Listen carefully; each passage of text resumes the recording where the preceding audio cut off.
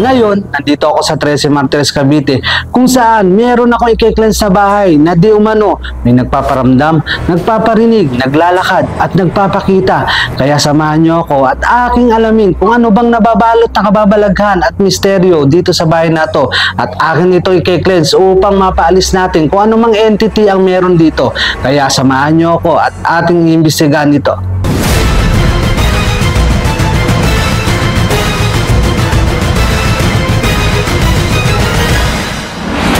Ano, kakaiba na hindi siya tao. Ngayon pa lang, inuunahan ko na kayo na mapapanood nyo dito kung ano ba talaga ang kwento sa likod ng mga nangyayari dito sa bahay na ito. Hiniling ng owner ng bahay na huwag sasabihin ang location ng bahay. Huwag ipaalam ang kanyang pangalan at dapat baguhin ang kanyang boses dahil pinapaupahan niya ang bahay na ito.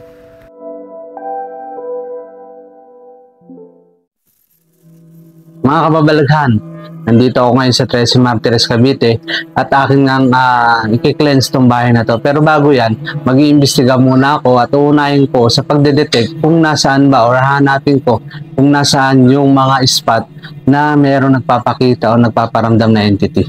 Kaya ngayon, sisimulan ko dito sa labas ng pintuan.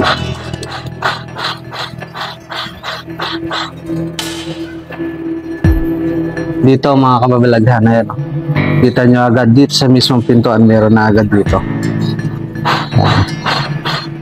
ngayon pagpasok mo dito parang iba yung ambience pagpasok sa loob ng bahay na ito pero maliit lang siya mga kababalaghan pero bakit meron pa rin nagpaparamdam kaya tandaan nyo lagi na walang pinipili ang mga entity, mapamalaki o maliit na bahay ay pa, maaari nilang ah, tahanan ito o gawing tirahan.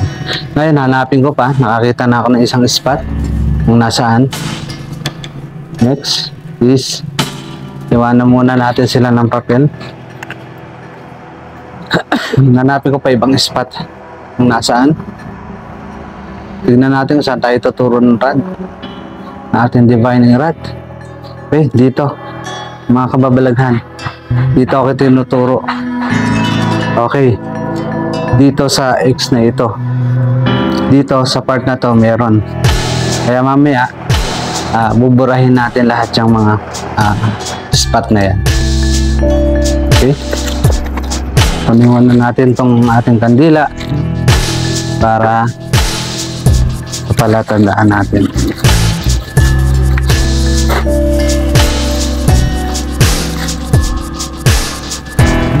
Next. Okay. Sunod natin, hanap tayo kung saan tayo tuturo ng ating rad. Yan, nakita niya po. Dito, padiretso ako pero pumapaling siya. Oh, binabalik tayo ulit dito. Sige, try ko ulit. Okay, dito tayo tinuturo. check ko dito. Yan, kung meron. Okay, dito sa spot na to yan. Yan.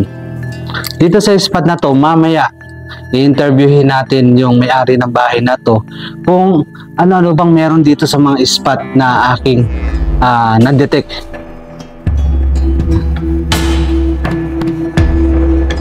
Yan. Hanap ka tayo. Dito tayo dinaturo ng rad na ating okay dito sa spot na to lalagay pa ako. Palatandaan lang po yung nilalagay kong kandila yan. Yan. Next po is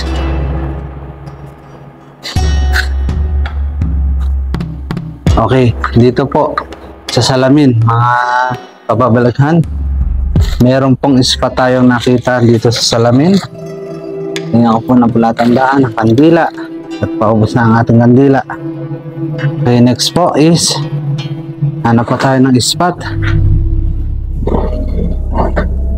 Okay. Dito sa may lamesa meron rin po. Yan.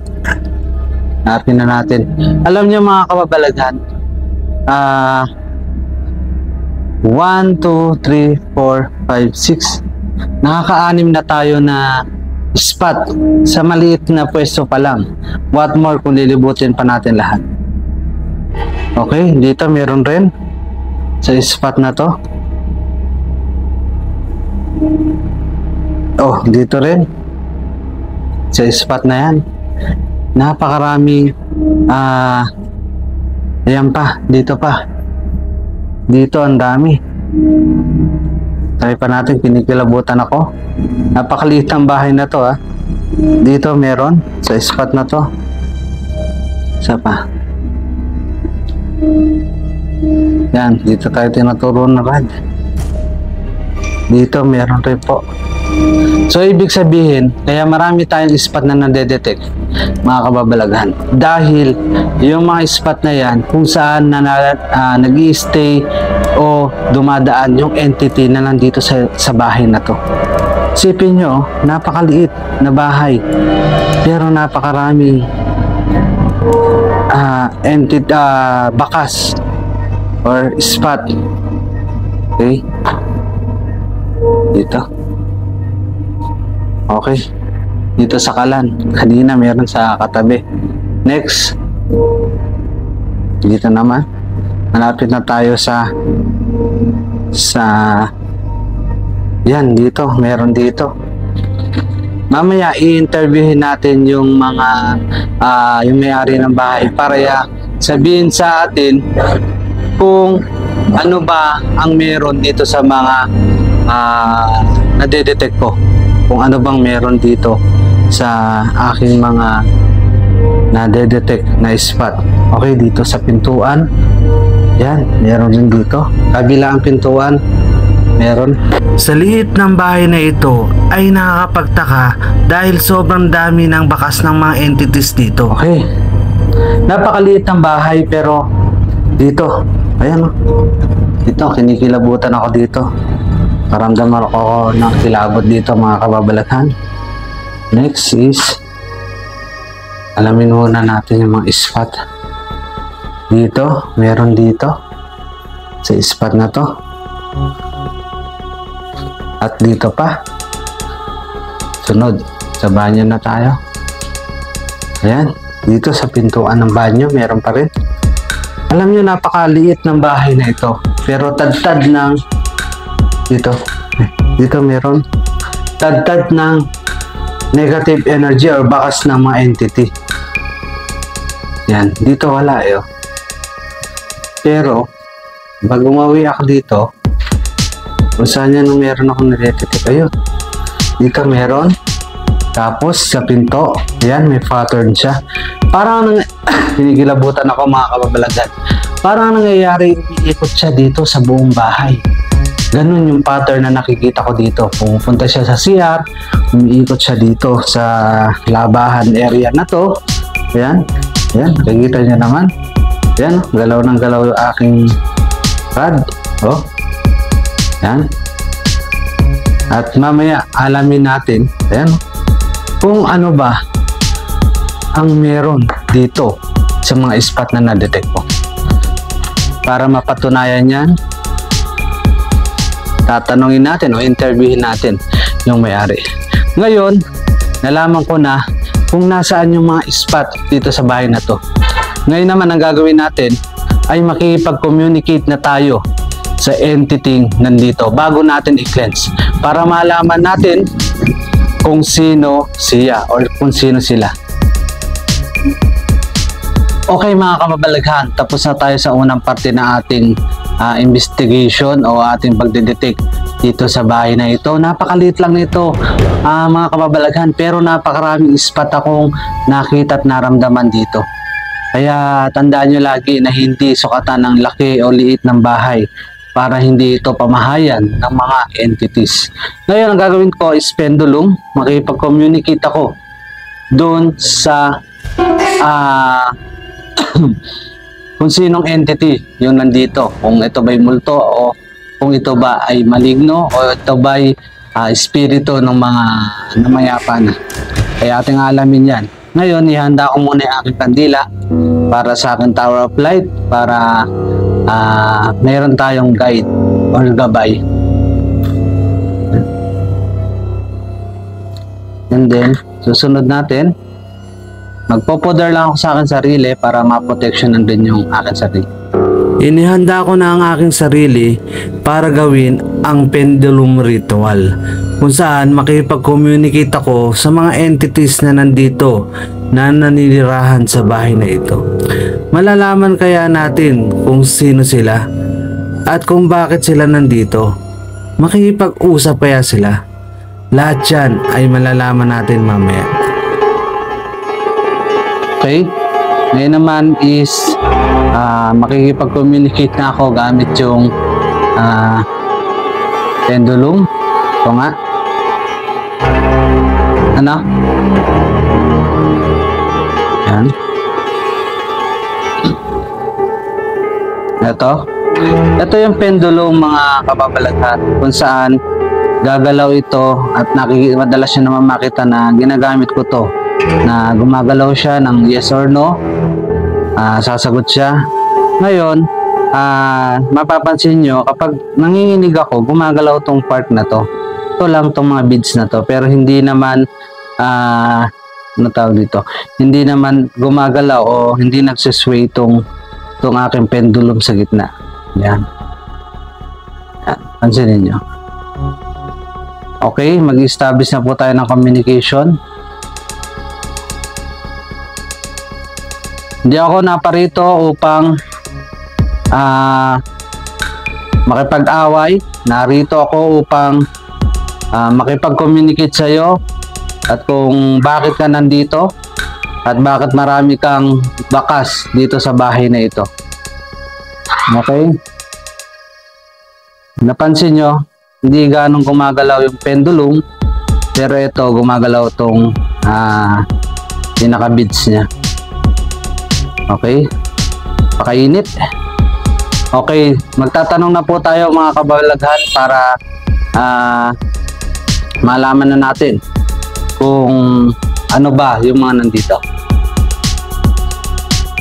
Okay? Pakisagot itong aking ah, mga tanong. Gamit, gamit itong pendulum.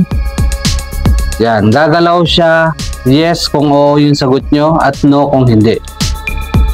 Okay? Pag no gaganyan ninyo. Pag yes ganun ang sagot. Maliwanag ba okay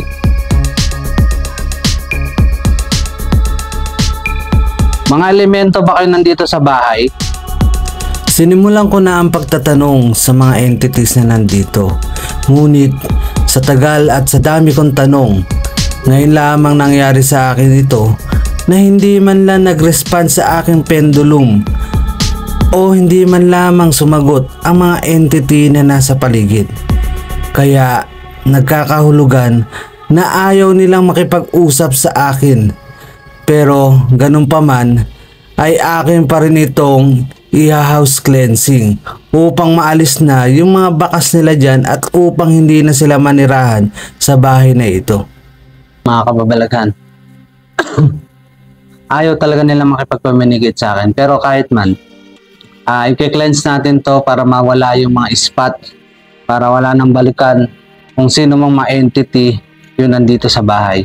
Pero mamaya, gagamitan ko siya ng aking paper ritual kung saan makikita natin possible yung itsura nung ah, may-ari ng mga bakas na nandito or mga spot na aking na-detect.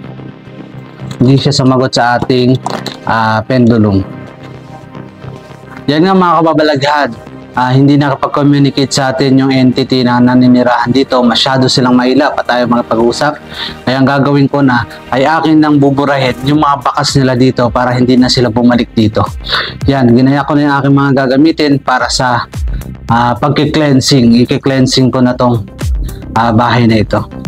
Iginaya ko na ang mga gagamitin ko sa aking cleansing ritual upang masimulan na naalisin ang mga negative energy ng mga entities na nandito sa bahay.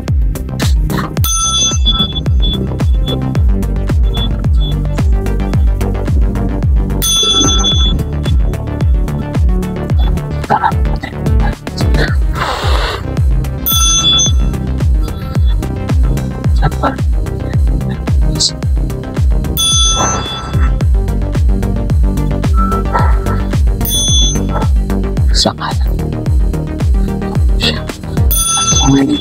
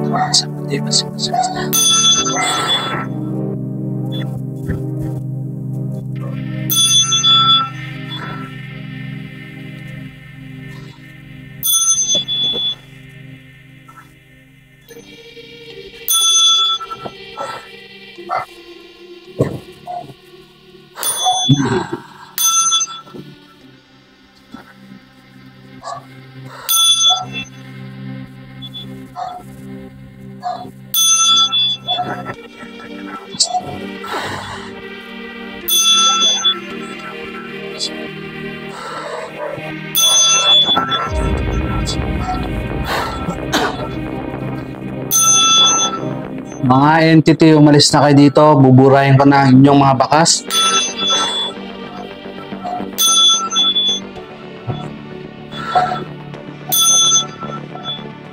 Yan mga kababalaghan na biglang uminit yung aking isang ginagamit na phone.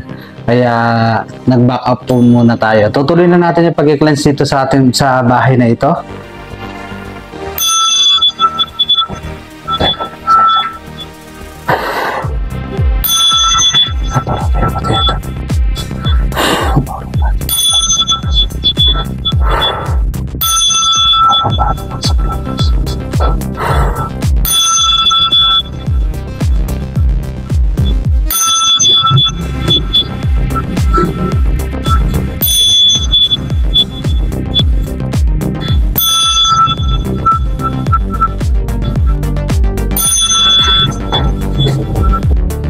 Tapos ko nang gamitin ang singing chime bell kung saan aking binarag o binasag yung mga concentration ng negative energy dito sa bahay. Susunod naman ay aking gagamitin ang Tibetan singing bow. Ha? Tara.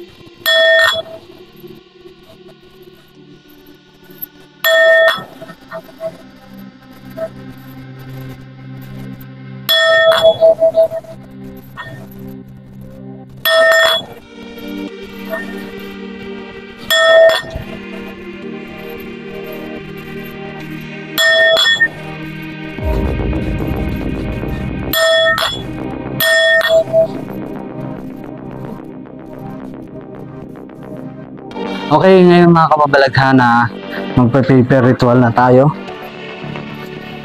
Yan. Paper ritual na tayo ngayon. para alamin natin kung ano-ano bang entity yung nandito sa bahay na ito.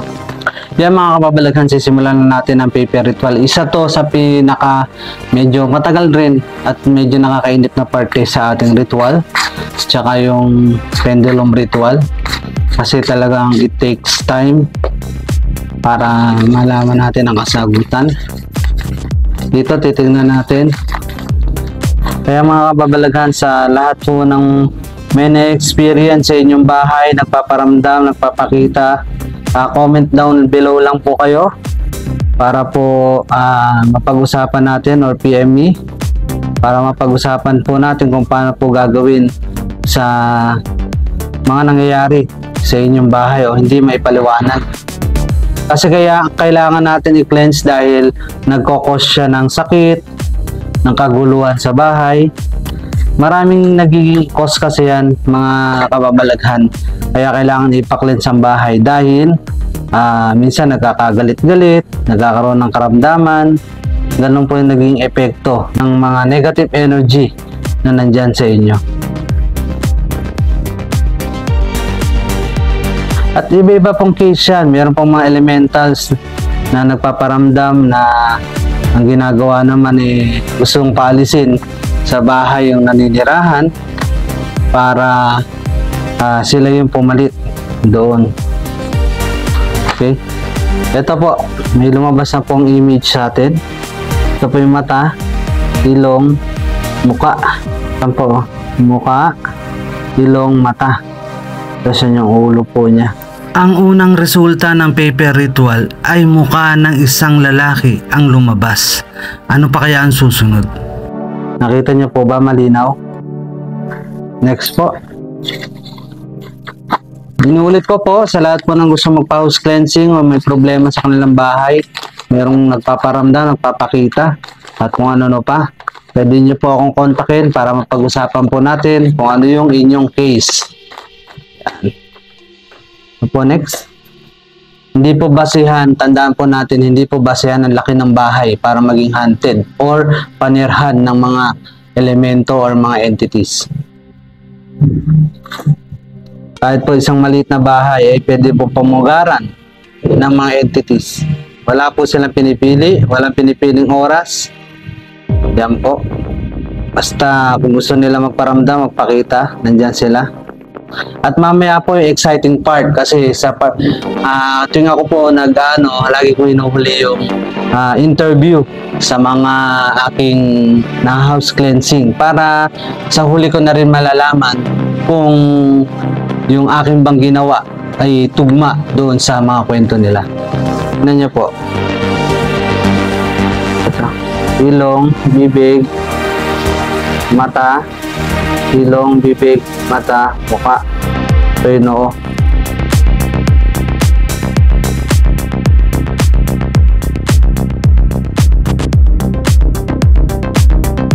Hindi tao to, elementals. Kaya may, may bigote pa oh. Parang bigote or balbas. Yan. Yun yung nandito sa bahay. Bukod po dun sa lalaki na nandito, may elementals rin po kaya napakaraming bakas dito sa bahay na to. Last po is at least ngayon tong bahay na to is ah wala na yung mga bakas na negative energy kaya hindi na magkaaya or hindi na magdadagdag pa ng ah, or hindi na papasukin ng mga entity to dahil wala na silang bakas dito may lumabas po agad. Mabilis dito ngayon. Ayan o naka side view siya. Ayan. Side view. Naka side view. Sa ilong bibig. Mukha. Naka side view. Mata. Ilong bibig. Mukha. Yan hindi siya ano eh. Ah hindi. Hindi siya tao. Unlike nung kanina. Mukhang tao yung kanina. Ito hindi medyo kulot-kulot yung buhok niya na na malago ibig sabihin po niyan ah, elementals po yung ah, dominant dito sa bahay na to mamaya dun sa interview nung may-ari nito malalaman natin kung Ano-ano ba yung nararamdaman niya o yung nakikita niya dito sa bahay na to? Yeah. Nagsimula po pala kami nakatira dito 2016. Ah, medyo hindi pa gaanong maraming tao naninirahan dito. Then 2018, umanaw po yung ex-husband ko. 2018, siya, dito siya binurol. Pagkatapos nun, nung nailibing na siya, wala pa siyang 40 days, marami na nagpaparamdam dito. Pinaglabutan ako. Dali lang. Ay. Hmm.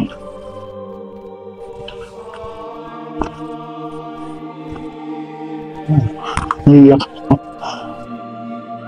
After 40, ah, wala pa siyang 40 days, doon ko na siya nararamdaman. Medyo, siyempre masakit. Kasi bigla lang siyang nawala. Medyo hindi maganda yung pagka, ano niya, pagkamatay. Tapos, um, hindi siguro niya tanggap nung time na yon kaya siguro nagpaparamdam pa siya. Yung mga spot na nakikita sa CR, dito sa may lab- lababo, syempre mahilig siya magluto, lababo, tsaka dito sa may kalan, yung sa may malapit sa pintuan, doon siya lagi nakakatambay doon sa may upuan kasi may supa yun eh. So patapos yung pinakasala namin yung sa gitna, doon siya, doon kami natutulog.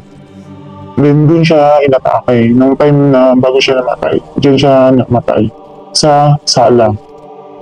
Tapos dito naman sa kwarto sa kwarto banda, hindi ko sure kung wala na siya nun eh. Yung yung nakikita na parang ano kakaiba na hindi siya tao. Patay na siya nun. Bumalik ako dito. Umuwi muna ako ng probinsya kasi parang magpapalipas muna ako. Umuwi ako ng probinsya. Pag bumalik ako dito, siguro 6 months na lang taong bahay. Tumira ako dito, bumalik ako. Nung natutulog ako mag-isa lang, mag-isa lang ako dito. Diyan sa may kwarto banda. Parang may tumabi sa akin yung lalaki. Yung parang malaking tao na siguro mabalahibo na malaking ano, hindi ko siya ma-identify kung anong klaseng ano siya. And para, para akong binangungot. Ah, hindi ako makagalaw.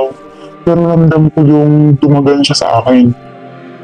Tapos, simula nun, hindi na ako natutulog dyan sa kwarto. Kasi, naramdaman ko meron akong, may tumatabi dyan eh. Isang beses dyan sa sala ulit. Dun sa higaan namin. Gaya ng sinabi ni Kuya Rick, lahat ng spot niya na nakita mula sa pintuan, malapit sa bintana, tapos dito sa may sala, sa kwarto, sa CR, tsaka dito sa may parang sa lababo, yung may parang bintana dyan. Diyan ko totoong nararamdaman. Yung una, yung bago siya mag 40 days, may paa dito sa may pintuan, sa may CR. Dun dito naman sa bintana, sa may likod ng lababo, yung maraming spot doon na nakita niya. May nakita akong parang tuwalya na para siyang hindi ko sure kung lumilipad or may nakikita akong puti. Puti na siya na ano lang, parang shadow. Hindi ko sure. Basta dito, klaro dito sa may pintuan, para siyang paa. Parang papasok or palabas ba. Basta nakita, nakita rin yung pamangkin ko kasi may kasama ako dati dito. Din dito sa may pintuan naman, sa may pinaka main door namin, sa harap, ah dyan yung sopa namin. Eh dyan kami nag, nagtatambay pagka nanonood ng TV. Tapos dito sa, ang higaan kasi namin nagiging sal, yung sa sala. Kasi medyo malayo na dito sa may, ano, dyan siya lagi nagtatambay din. Dyan din siya nawala ng, ng inatake, dyan sa may sala. Diyan siya natutulog. Eh, tama, yun, tama lahat ng spot. Yung nakita sa mula sa pintuan, ah sala, sa kwarto, yung pinaka-kwarto namin kasi wala pang ano yun eh. Wala pang partition yan. Kwarto. Kakurtina lang kasi nilalagay namin. Tapos, yung papuntang CR, yung pintuan na papuntang CR, tsaka yung sa lababo. Dito sa, ano, lagi kasi siya nagluluto. Mahilig magluto yun to yung may birthday sa amin. eh. Kaya dito siya sa kusina. Eh, hindi naman namin nalipat pa kasi, kasi maano pa dun sa kabila, wala pang bubong yan dati. Kaya yun, tama, tama lahat yung nakikita niya. Doon din siya mismo napaparamdam.